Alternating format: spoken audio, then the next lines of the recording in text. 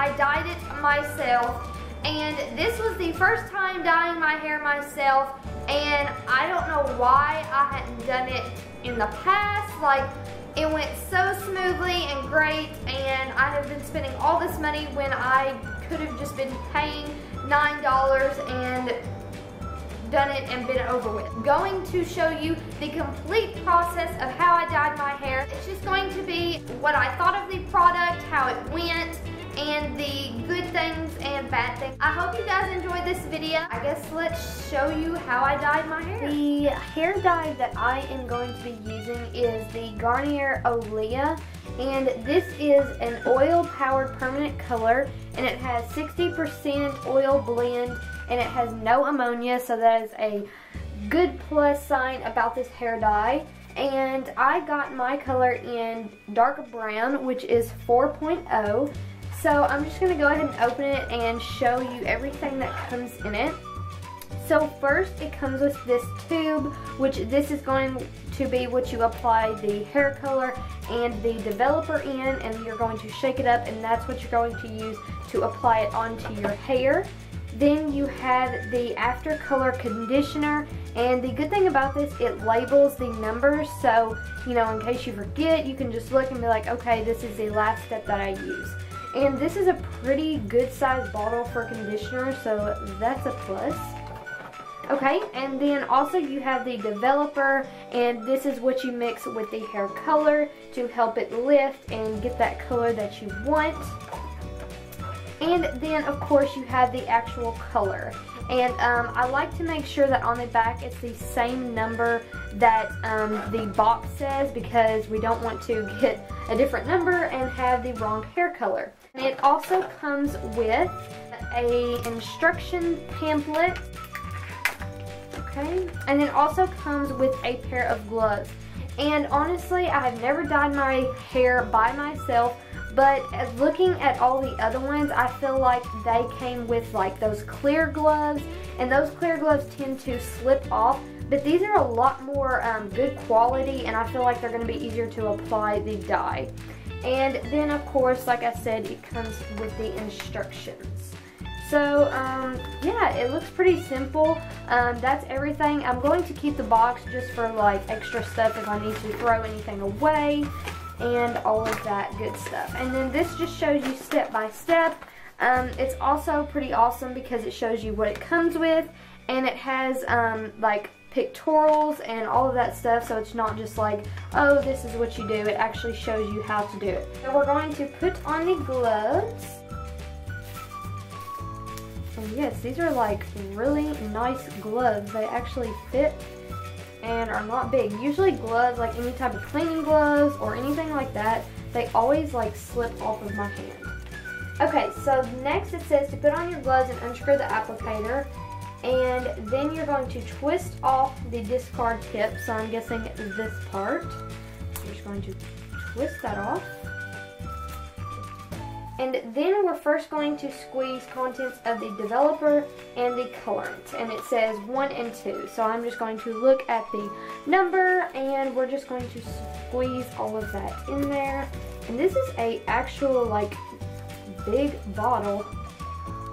And but honestly, there is not a lot of product in here. So that's really surprising. But I will have to say the quality of the products and packaging and all that stuff is actually really good. And um, I actually purchased this for, um, I believe after tax, it was like nine, nine dollars and something. And I know there are some places that you can get hair dye discounted, but I like to be sure that I'm getting the real deal. I don't want to buy a cheap um, brand or cheap um, knockoff, especially when it comes to hair dye. So I want to be safe about that. Next, I'm going to do number two and put the color in there.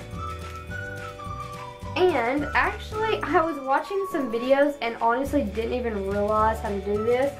But if you take the top, you turn it upside down and pierce it And that's how you open that. Like, I've seen the pointed things before, like on these little tubes, and didn't even realize what it was for. Like, am I just dumb or what?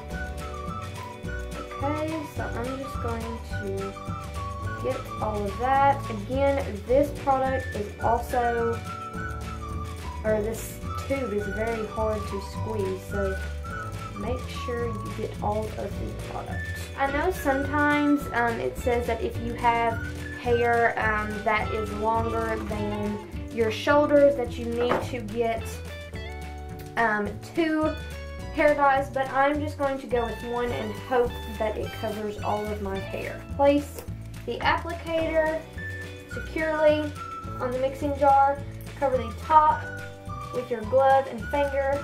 Hold away from your face and shake thoroughly. It doesn't necessarily tell how long to shake it, so we're just going to shake it really good. We want to make sure that the color is mixed, mixed very well. So now after we've prepared it, it's time to do the dye.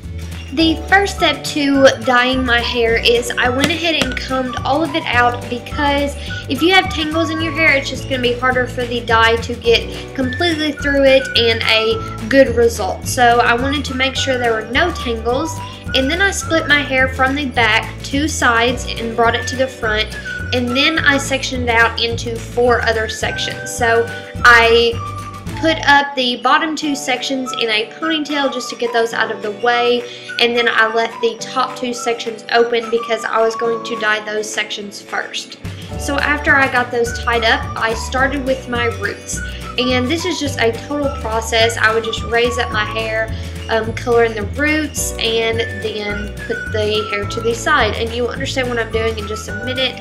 Um, make sure once you put the dye in there to rub it in. You want to make sure it completely gets and covers your roots.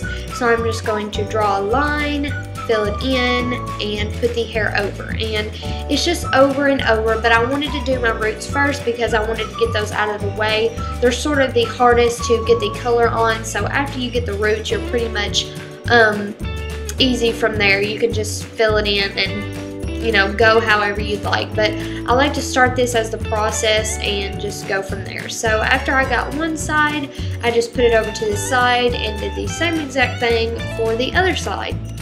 And when it came to the back of my hair, um, there wasn't really a certain way that I did it. I just kind of felt around to make sure it seemed like I was getting all of it. And if you do have an extra person hand in your house, um, I asked my mom to make sure I got all of the dye and there wasn't any like missing spots because that would be horrible. But um, I just tried my best and just completely put the hair dye everywhere I could.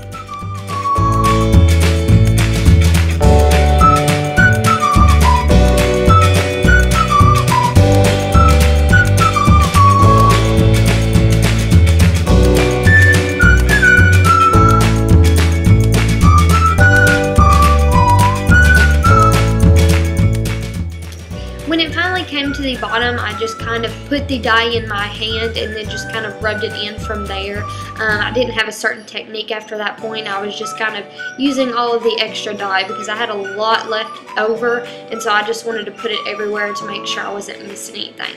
And the last thing I did was I put my hair up and I used a trash bag or plastic bag and the reason I did this is because it traps in the heat and it helps the color to develop a lot more.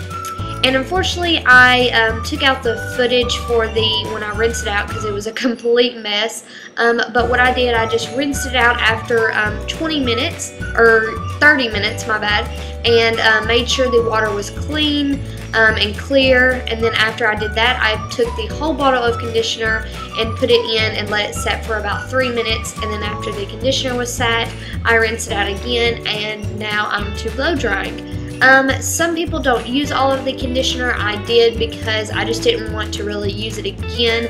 I just want to kind of use it all on it because I wanted to make sure my hair was completely conditioned and healthy and felt new and all of that. So now I'm just blow drying my hair as I usually do. I have a different technique, but you know, it's how I get it done.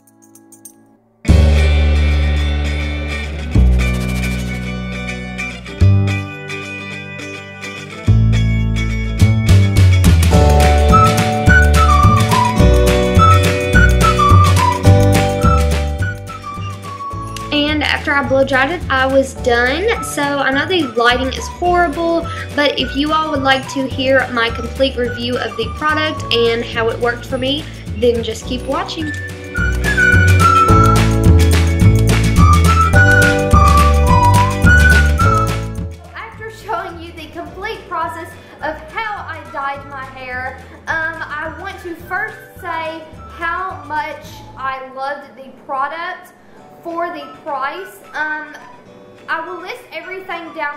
Just in case you want to know details and everything of where I got it, how much, the type, the color, and all of that good stuff.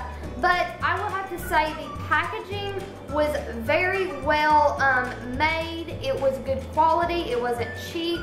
Um, there was a ton of product. I had a ton of product left over. They weren't really stingy with any of it. Um, just the box, the overall um, appearance of it, and just the packaging, I will have to give it a thumbs up. And not only was the packaging good, but the quality and um, um, thickness of it, I did like the fact that when I was putting on the dye, it wasn't like running everywhere, but it was actually a thick consistency, so it stayed on my hair and I didn't have to worry about making a huge mess. The gloves were amazing, they didn't slide off, um, they had enough, uh, what is it, traction, so like I could actually put my hair up and mess it around and put it in the different sections that I needed, and it worked out great. The color payoff is amazing. I don't know if you all saw my last video, um, but my hair was so light and so dry and um, I just wanted to go back dark. This is my natural color and I just loved how it turned out. I do have my extensions in. my hair did not grow overnight, but yes, they match perfectly and I'm so excited I can wear them again. Another thing is the smell was not horrible. You know, when you go into a shop and you smell just like hair dye, it was not that type. It was, um, it actually smelled kind of good. Um, the conditioner it gave, there was so much in it and literally after I dyed my hair and washed it and styled it, it was so shiny and soft. I was like, did I really just dye my hair? Like, it was crazy. But overall, I would give the Garnier Olia a great thumbs up, 10 out of 10. I would definitely do it again. And if you're scared of dyeing your hair yourself, I wouldn't recommend doing it if you're doing like highlights or lowlights or ombre. But if you're a natural blonde and you want to dye blonde or like me, brown and go brown, I would definitely recommend a box dye. Um, definitely the Garnier, Garnier Olia. It has great oils and it makes your hair feel so great afterwards. And um, I do recommend, even though you dye and it does feel good, um, just take care of your hair, do a deep mask on it, take some vitamins for it, such as biotin, and yeah, it will just overall help your hair. So I hope you guys enjoyed this video. I was so excited to actually film it. I don't know why, but um, you know, I looked at so many videos and I was like, I should do this for other people who want to watch these types of videos. So, hope you guys enjoyed. If you did, give it a thumbs up. Comment down below if you like these review and demo types of um, videos and I will definitely put up more because I like to try out new things and show you how they work and all that good stuff. So, thank you guys so much for watching. Um, I love you so much and I'll see you in my next video. Bye!